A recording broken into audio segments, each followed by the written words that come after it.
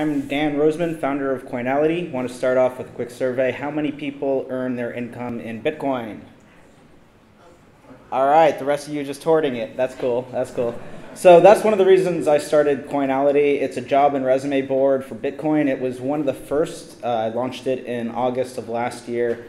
Um, there were two other sites at the time, BitTask and BitGigs and they offered job postings but not resume postings. So Coinality was, I guess, the first resume board for Bitcoin, and it became pretty popular for that reason. Um, it became popular enough for me to leave my day job, uh, which I've done, and now earn all my income in the uh, modest amount of donations I get to the site, which is about $300, but really my income comes from uh, working at Coinbase, which I do a remote customer service. Um, so I went to Plug and Play Bitcoin last um, last Friday, and they told me I need to find a CTO. That's the reason I'm here.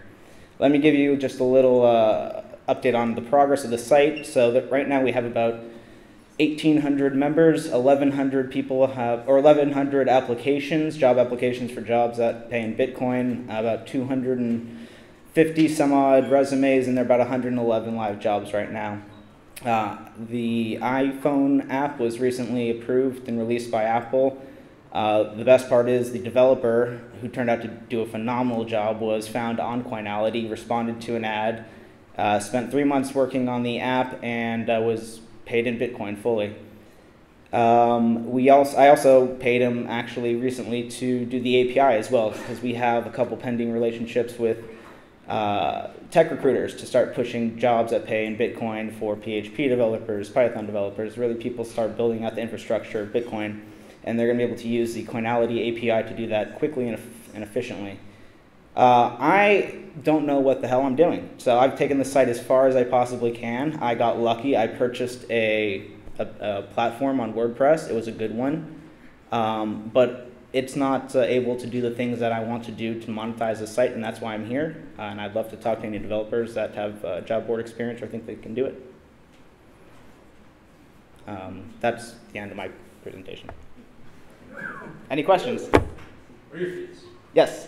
Why aren't you looking for uh, CTO in your resume? That's a great question. I'm glad you asked. So I posted I posted a job um, uh, two nights ago and I have two uh, interviews with local people. That was a trouble. Last time I tried it, I got mostly international and a couple people in Washington.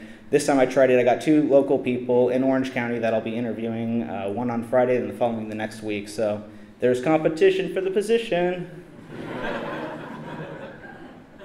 yes? What coding languages do you want to work with? Great question. I'd like to work with Ruby on Rails, Python.